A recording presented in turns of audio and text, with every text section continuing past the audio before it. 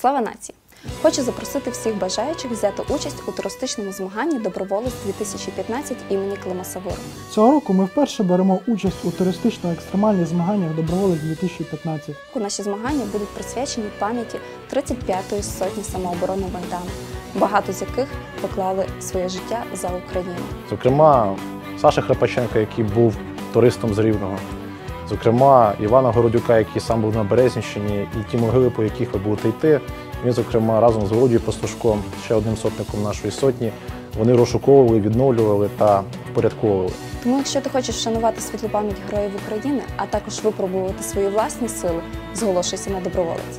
Доброволець є альтернативою для вашого буденного життя. Ці змагання для нас є знаковими. Вони проводились не один рік. І наша сотня 35-та Волинська Січ формувалася, зокрема, з тих учасників і організаторів цих змагань попередніх років. На цих змаганнях ти можеш випробувати себе на дистанції 60 або 100 кілометрів.